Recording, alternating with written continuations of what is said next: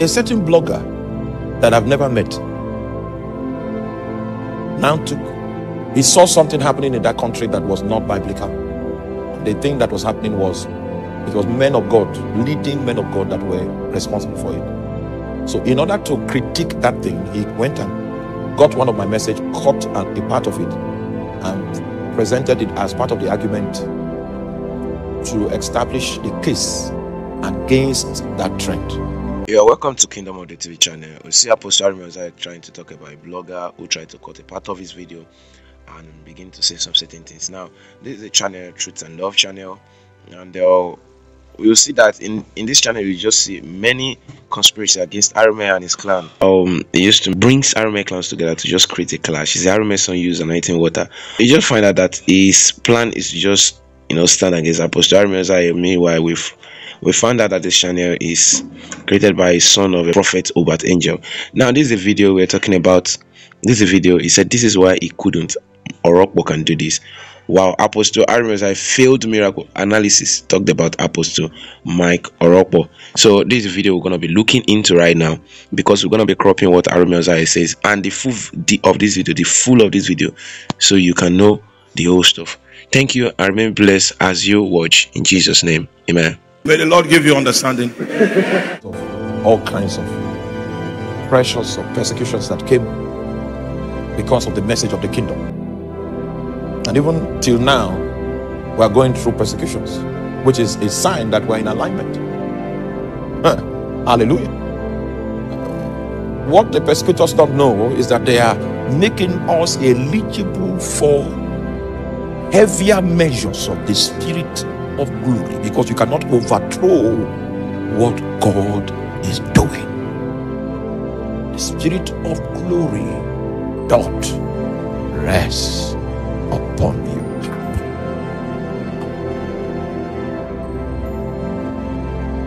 Are you there? Went to preach in one country and uh, unfortunately before we came, is it unfortunate? Unfortunate depending from on the angle you are looking at it from.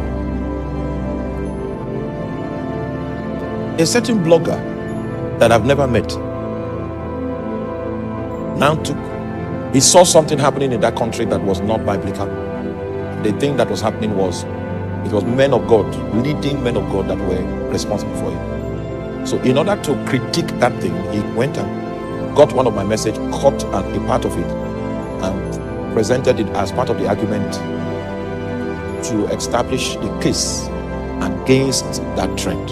Let's get into it. Don't be afraid. I'm here. Okay, I'm here. Don't worry. Can we pray that strength will come upon these legs now? So this is the lady you were talking about, who you were saying that you know she was, you know, she had a problem with her leg, but she wasn't healed. I saw a lot of messages from you. Okay, that's fine. So um, we're just gonna start with uh, because I had to look at the full video. So we're gonna start with where the whole thing began. So it started when Apostle Arome was actually looking for a person who he said the Lord Jesus had sent him to, who had a problem with their ear. This is what he said. I'm not talking about a deaf situation from last year. I'm talking about right now. We have a testimony here with the young You- girl. Wait, wait, you see? Because Jesus, come. Because Jesus sent Wait, me to the person, Jesus sent me to the person that he will heal the ears. So for the sake of time, I'll just skip to the moment where he, uh, where the person came out, the person who is alleged to be the person who was uh, having a problem with the ear. So this is the person. Okay? All right. So, You want me to repeat? please. Yeah. Um, I had the operation three, four years ago on this ear. The staple, which is a very tiny, like mustard seed inside the ears, where you can hear, it's had calcium grown on it. So I stopped hearing completely. So when I went to have an operation in hospital by the consultants, he did a laser to get rid of only, to get rid of only the calcium. What he did, he broke the original staple that originally I have from. So I, I was left deaf completely. So, can you hear a little tonight? to, when you spoke, when you said the first time about the ear, I went like this and I could hear a little, which usually I cannot hear nothing. So she's saying that she was healed from uh, an ear problem in a right ear. So this is what we can get from this video. Okay. So let's continue. ear. So you heard from here. From this ear, a little, but not lots like this one. Okay, so that ear that she couldn't hear from at all, she can hear a little from. Wait, we are not done.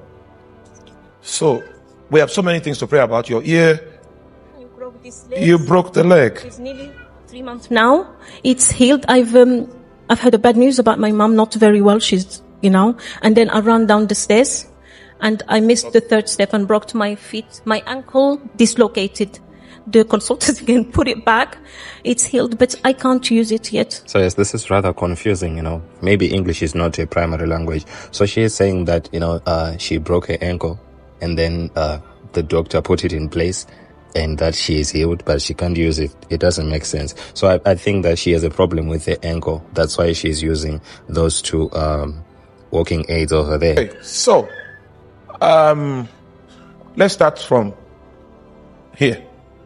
Okay, I believe I'm sent to you. That I believe Jesus sent me to you. Oh, that's a powerful statement over there. So if Jesus uh, sent Apostle Arome to this lady, it means that everything concerning her is to be brought into completion, I believe. I hope we agree on that. Let's continue. All right, let's pray for her and rebuke the deafening spirits. Can we do that? The deafening spirit. Thank you, Jesus. Thank you, Jesus. Thank you, Father.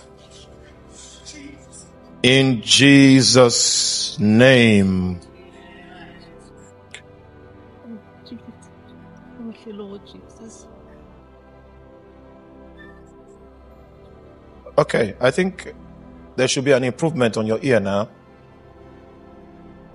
Yeah, block this. Don't worry. Let's let's test. Yeah, I can hear. I can hear. So she's saying that uh, she can now hear. So let's now move on to the to the leg. So the next thing now is uh, your leg. Okay. Yes. Um, Were you expecting a healing here? Because it seems you are not expecting. So now I'm confused. Um, he's now saying that uh, she she was she wasn't expecting to be healed when it comes to her leg. Uh, oh, this is the lady's response. said to the Lord, I'm coming, Lord, with no expectation, but you. No expectation. You guys were saying that he jumped on to say that uh, she she had no expectation. Well, she's saying that she had no expectation of any other thing. That she just wanted to experience the presence of the Lord. Of which we know that in the presence of the Lord, where the presence of the Lord is manifested, everything is sorted out, everything is solved. If you have any need, it is sorted out. So I believe this is uh, the lady's revelation. Let's go. No expectation. But your presence, Your your presence is important. do what you want, Lord Jesus. I have so much need, but He knows. All right. So can we pray for this woman again? Uh, now uh, we want to ask that the Lord will. Don't be afraid. I'm here. Okay, I'm here. Don't worry. Can we pray that strength will come upon these legs now? So there he was now praying for the lady to be healed. And you know, when people are gathering, they expect the healing to be instant, all right? But we'll talk about some of these other things um, after this. After this. Thank you, Lord. In the name of Jesus. Come, come, uh, Nav- Nadia. Can you lay hands on on that ankle down there? Just hold my hand. Don't worry. Go down. Go down to the ankle. Just lay hands on that thing. I don't know what it's called. Just and pray. No, no, don't worry. Pray. Pray on it.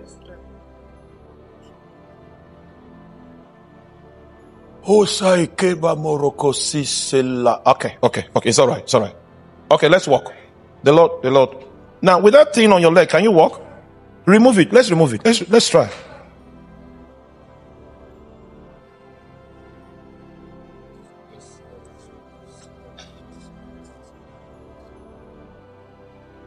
Put your leg there. Okay. If it pains you, I will stop. Yeah. If you feel the pain, let me know. I will stop. Okay. Okay. Take her back. So God wants to heal your ears. So the apostle later said that the Lord wanted to heal her ears, you know, but not the leg. So that's the issue that a lot of you had where you were sending uh, all those messages in the comments. Oh, that's fine. Um, let's first finish the video and then we'll come back. My friend.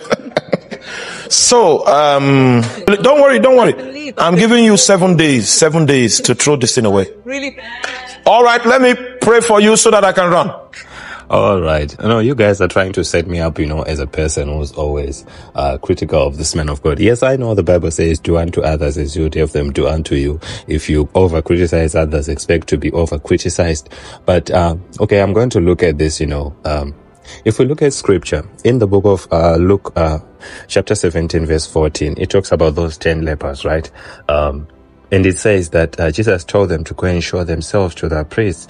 And the Bible says that, you know, and as they went, they were cleansed. But, you know, there's a revelation on healing that, you know, some people get healed as they go right? Like as they went, they will be healed. And also when it comes to, you know, gifts of the spirit, there are gifts of healing and uh, the working of miracles and all those things. If we look at the healing ministry, there are others who are, who are anointed to pray for the sick, and those uh, people who are sick, they get healed as they go. And there are people who get healed instantaneously. All right. So maybe Apostle Arome is not that person who prays for people and it happens instantly. I do not know, maybe. But I also remember this video where he said that there are some areas where he can be used to heal the sick and some areas where he cannot. Let's listen. You need to grow in the gift of healing to know the aspect, the sickness that your own unique expression of healing has more potency for. The one on Michael Orokpo is makes crippled people healed. That is, that is, other people will be healed, oh, but the number of cripples, eh, almost, almost always, when cripples come, that one can attend to it. You see, there is a bias. Even though others are healed, there seems to be a bias, a specialty for cripples on the healing anointing that he has. All right. Like I am an expert in deafness. Oh yeah, so you heard him. So it did been people like uh, Michael Orokpo and uh, a situation like that had come, the person would have been healed. But uh, since it's not Apostle Arome's area, that's why maybe he struggled. So this is just, you know, a heads up for some people, you know, if you have some certain conditions, just know. If it's deafness, you go to Apostle Arome, but if it's a cripple or anyone who cannot walk, uh, that's not his area. You would know, you would now need to use your faith. All right. Are you there? And I've never met this um, blogger. Never met him before. I hear that preachers pay bloggers to fight people and to do all that stuff. that one is not a preacher. If you can pay money for someone to criticize somebody, he's is is is in second. You know those days there's something that we used to call secos. How many of you still remember it? If you are not, if you have not been around in the 70s, you may not know what I'm talking about. Just drama. So, and it will interest you to know that I preached that sermon like two years before the blogger is using it now to critique a situation. And I had a meeting in that nation at the time. The first thing we experienced was that our billboards that were everywhere. I know, I know you know what I'm talking about. The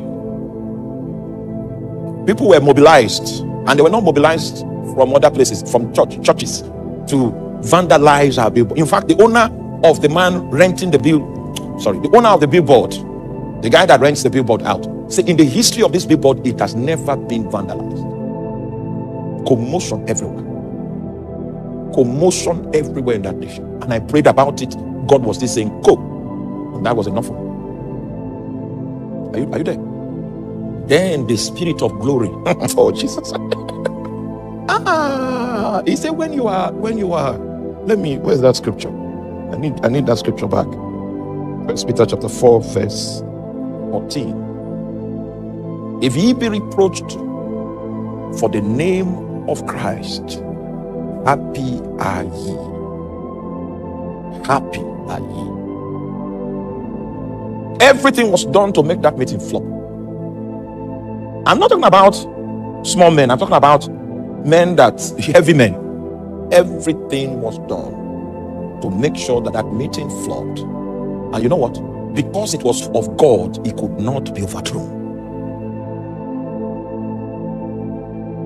That was one of the litmus tests that, that showed me that uh, even if I am called to be with the Lord, what has happened, what is taking place will not die. No. I saw men in authority fight. and they lack the ability to overthrow it. He said, Happy are you. That this is the this is the route to authority. This is the route to spiritual capacity.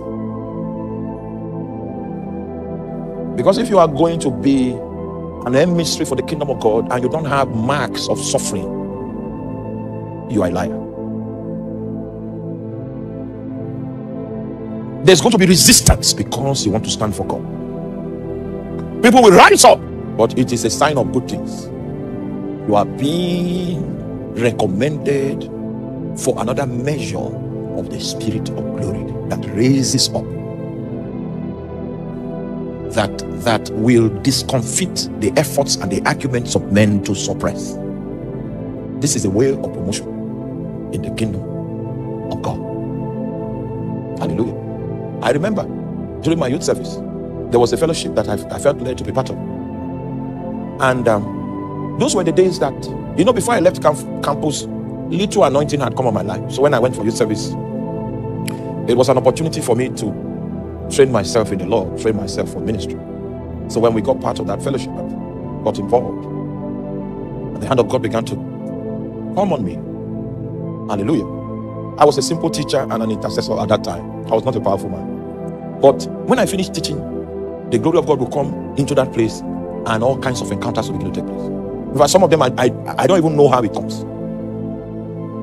So there were preachers in that fellowship that felt that I was stealing the show. So what they did was that they got a lady to testify against me that I committed fornication. So, and as my custom is, I don't defend myself. Now, if it is me you are attacking, forget about it. I won't. I won't say anything. But if you, if you, if you are doing something that will bring injury to the body of Christ, me I can sleep. That thing you are doing, do it without putting it online because you are going to damage the body. I will rise up. I have a calling along that line to respond to you. Do you understand what I'm talking about? That malpractice you are trying to sell, I will use the Bible and pick it out. This is not, this is contraband. And when I'm doing that kind of business, I don't bring the person into the view. What is wrong is not the person. What is wrong is the malpractice. Do you understand that? So I, that- it's part of my business. Okay. So the lady testified that I disvirgined her. So the whole congregation said yes. I, I kept quiet. Even my friends, close friends, came to ask me. He said,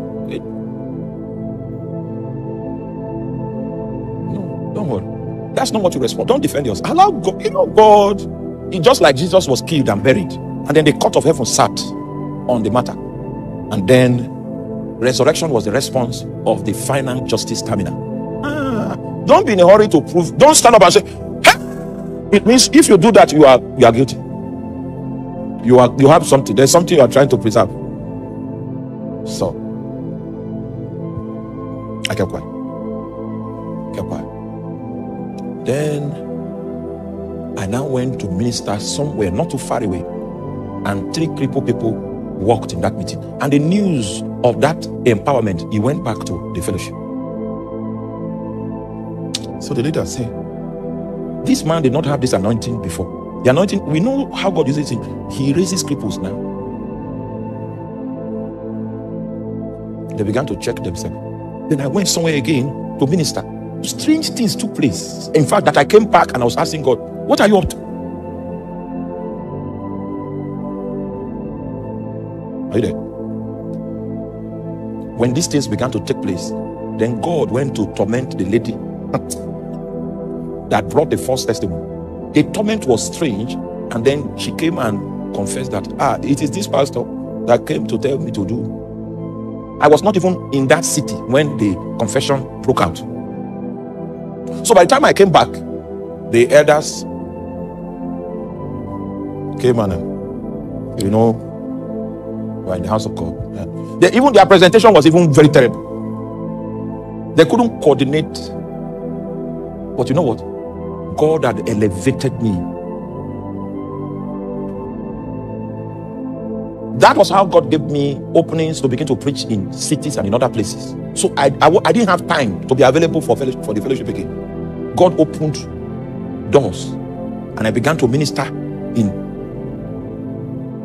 I follow? And I didn't have time to be available. Not because I didn't want to be available, but there were so many kingdom things that opened up that I had to attend to. And when I was already operating on this tangent of grace and power, it was one year later that the truth now came out.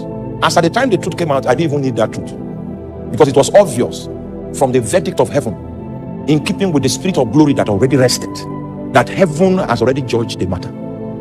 Are you are you fully? Don't defend yourself. Allow heaven to judge the matter.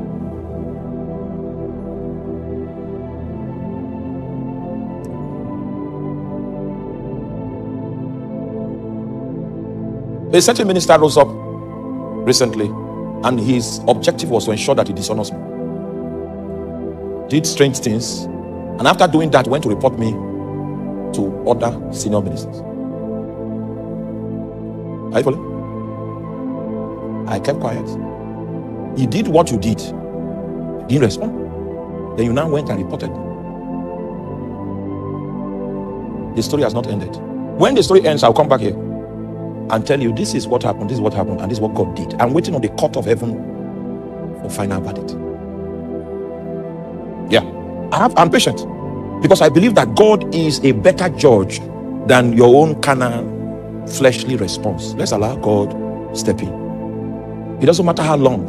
When He steps in, it will be evident that the Spirit of glory has rested on the one that is on the side of the will of God. People will envy you. Many people will backbite. Keep quiet. If you behave yourself, God will be involved. If you behave yourself, God will be involved in the matter. And the way God will answer is that the spirit of glory ah, will rest. May the Lord give you understanding. Welcome back from that powerful message. I know you've learned a lot of things from this video.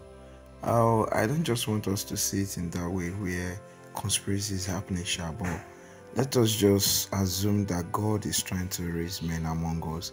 And uh, no matter what, please, let's be one in the spirit. Do well to drop your comment also concerning this video. Like our video, share it to your friends. May you be blessed in Jesus' name. Amen.